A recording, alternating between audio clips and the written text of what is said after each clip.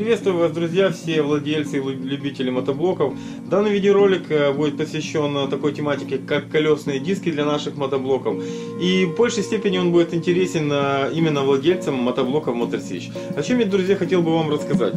Э, Все очень просто. Смотрите, как всем известно, мы имеем с вами колеса 12 радиуса со внутренней вставкой, которая позволяет нам с вами менять ширину колеи. На обычных дизельных, на китайских мотоблоках ширина колеи меняется на полуоси, у нас же меняется путем перестановки вот этой внутренней звезды.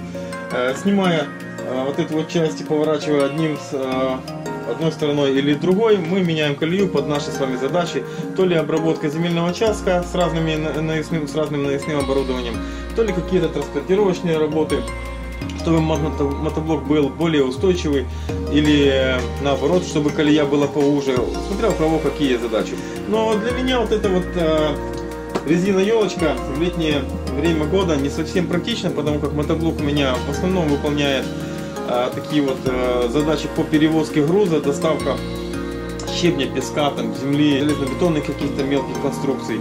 Поэтому решил поменять, э, поставить обычную летнюю автомобильную резину, когда же нужно, без проблем, чтобы можно было поменять и поставить родимые диски. Сейчас вам покажу, как я решил эту проблему, как у меня это вышло, малой кровью, совсем э, за копейки.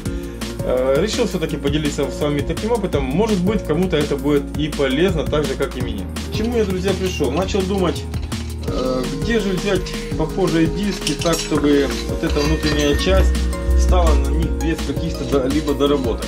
Когда-то у меня была машинка за Ставрия Славута пятидверная. Там колесные диски имеют три отверстия. Но тут же я вспомнил, друзья, что на просторах советского времени еще была, был автомобиль, у которого есть четыре отверстия. Это диски от обычного старого запорожца, друзья. И вот именно в эти диски, в эти диски очень классно, прекрасно, как нельзя кстати подходит наша вот эта вот сердцевина, вот эта вот звезда. Так что, друзья, если кому-то нужно использовать автомобильную резину на мотоблоке Motorsich, а, можно поставить чуть э, больше резину, чем стандартная. Стандартная у нас 12 радиус, здесь же колесные диски 13 радиуса. Вот, поэтому, если выбрать резину повыше, вот, то можно играться э, со скоростью мотоблока, не э, очень-то нагружая его портовые редуктора. Единственный нюанс, что здесь у нас на звезде отверстие потоньше, поменьше, поуже, а здесь уже под э, большие гайки, под большие шпильки.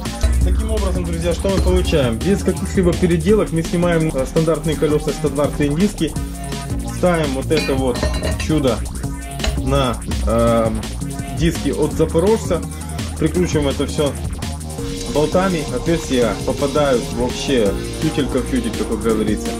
И можем работать э, в летнее время на другой резине. Друзья, покупка вот этих двух колес э, с дисками от э, Запорожца и с лысой резиной, с камерами внутри обошлась мне в одну бутылку пива и один, один детский киндер сюрприз. А, на сайте объявлений, на доске объявлений OLX было объявление по городу Чернигов, обменяюсь на вот такие вот продукты питания. Я, конечно же, перед этим сбегал к соседу и померил на Запорожце, подходит ли вот эта вот штука. И только после этого поехал, поменял их э, в город э, у человека, за что ему это большое-большое спасибо. Запорожские диски из Запорожца можно купить на сайте объявлений, там буквально за 50-100 гривен. Вот, их там полно такого хозяйства. Так что, друзья, пользуйтесь таким вот советом.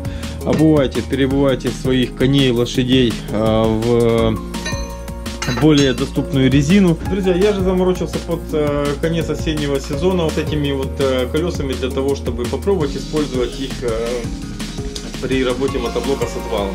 Что хочу сделать? Первое, это попробовать сначала поставить на вот эту вот лысую резину, а, поставить э, автомобильные цепи на этот 13 радиус.